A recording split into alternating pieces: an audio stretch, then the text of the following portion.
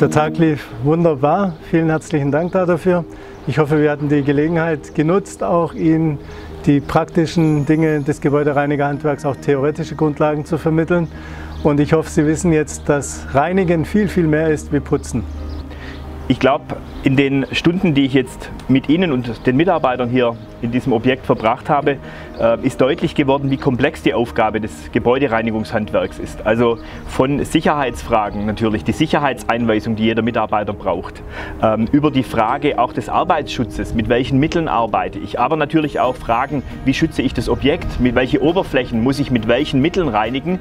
Ich würde sagen, es ist fast eine Wissenschaft für sich und es war hochinteressant, für mich auch spannend, dass über 650.000 Menschen in Deutschland als Gebäudereiniger arbeiten. Das ist eine wahnsinnig große große Zahl von Menschen und deswegen ist es gerade auch für uns in der Politik wichtig zu wissen, wie die Arbeitswirklichkeit für die Menschen ist, aber natürlich auch, wie wir in Zeiten eines Fachkräftemangels, das haben wir ja auch besprochen, ja. wie wir dafür sorgen können, dass die Menschen möglichst lange und auch in guter Qualität ihre Arbeit machen können und unter guten Bedingungen. Und ich glaube, das war für mich heute ein ganz wichtiger Tag und ich bin Ihnen sehr, sehr dankbar, diesen Einblick bekommen zu haben und wünsche natürlich Ihnen und allen Mitarbeitern von Herzen alles Gute. Vielen herzlichen Dank.